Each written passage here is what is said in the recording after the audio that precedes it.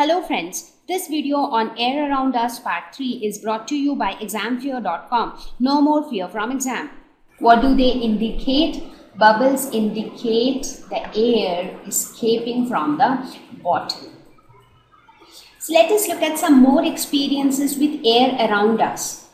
Let's say you take out a chilled glass of water from the refrigerator. So immediately after you take out that chilled glass of water, which can have some ice cubes, and leave it on the table for some time at normal room temperature, what would happen after a couple of minutes?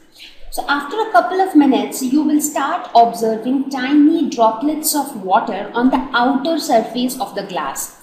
Now that's quite surprising, right? Because water is present inside the glass. So even if we see anything inside the glass, that's okay. But when we see water droplets on the outer surface, the question that arises to our mind is from where do these water droplets come? Because there is no water outside.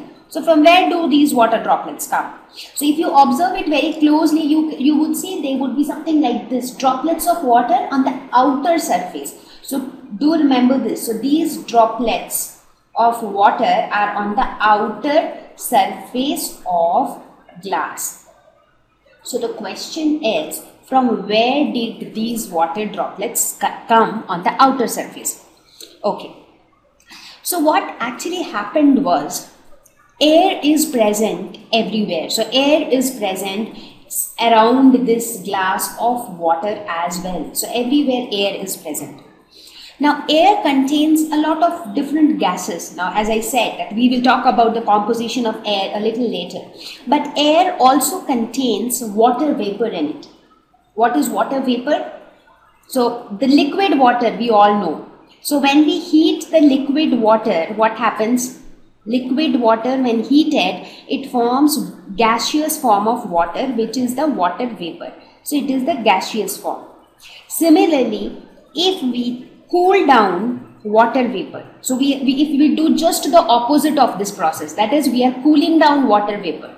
So if we cool it down, what will we get? We will get liquid water, right? So that, that's a simple logic.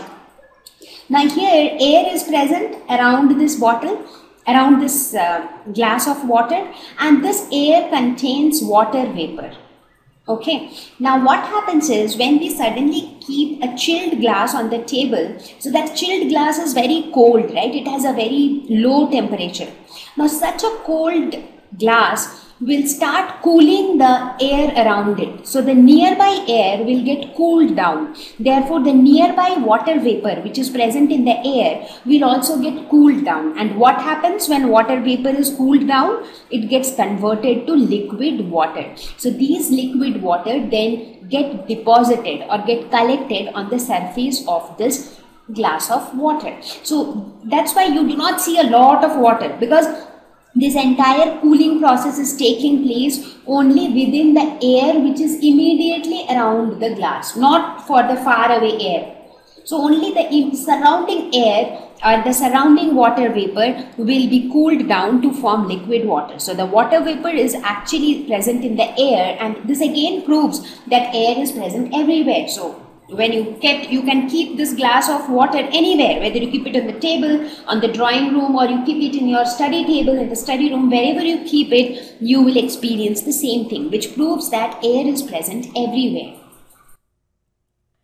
thank you please visit www.examfear.com to watch more educational videos with a better experience please do not forget to like and subscribe to our youtube channel for latest updates Thank you once again.